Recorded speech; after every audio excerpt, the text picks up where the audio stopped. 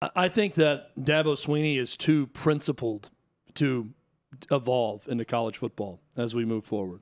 And I, I'm not saying that as a diss to him. I mean, he's very, very hard headed about what college football is, about what his program is going to be, and he's not going to compromise for that. This is a guy who will not allow commits to go on other visits. That if he takes your commitment, you can't visit another school or they cut you, even if you're a four or five star guy. This is part of the rule at Clemson. No other school gets away with it. And I applaud him for somehow pulling this off. It's one And- thing if you're getting- defending national champion. It's another thing if you look like you look like science. Recruiting classes, getting great recruiting classes, and all this. Um, he's clearly built something that's special at Clemson. I have serious doubts about his ability to withstand what's coming with NIL, with transfer portal, with everything else. This is a guy who has mocked all of these things and does not want to embrace any of it. And I'm watching them and thinking, if you're going to be this hard headed about your offense, he promote he promotes Brandon Streeter to offensive coordinator. He comes right back with with DJ as quarterback this year. And everything that we've seen him, he stepped in a number of times, talking about NIL, about players getting paid, about transfer portal. These are all problems that many college football fans have with the game.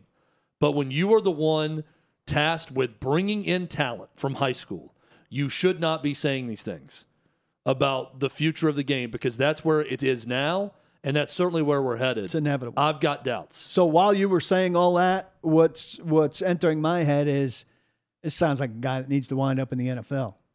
Because if if you don't want to deal with all of that kind of stuff and just coach ball, well, there's a place you can do it, but it's on Sunday, not Saturday. The problem is he's he's no NFL coach. No, I don't think so either. But mean, I- I that's don't where think you he's cannot just, uh, deal with that kind of stuff. He's more a boys guy than a men's Yeah, guy. he's more like an FCA president, high school coach before he would be a, an NFL coach.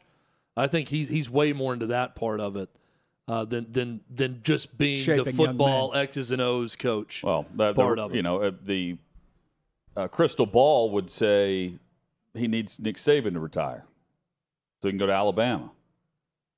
But Nick Saban's a good comparison point because Nick Saban is older, much older than Dabo Swinney, and Nick Saban is as old school as they come deep down. But guess what? Nick Saban's not doing. He's not talking about not using the transfer portal. He's not thumbing his nose at NIL. He's talking about guys getting seven figures in NIL. His quarterback at Alabama. He knows how to adapt And play to a changing game. He was outspoken about the speed of offenses being a threat to college football. And when he realized he couldn't stop it with the fast. NCAA, yeah, he started running that offense and he dominated doing it. I, I, I don't think Dabo's going to adapt that way.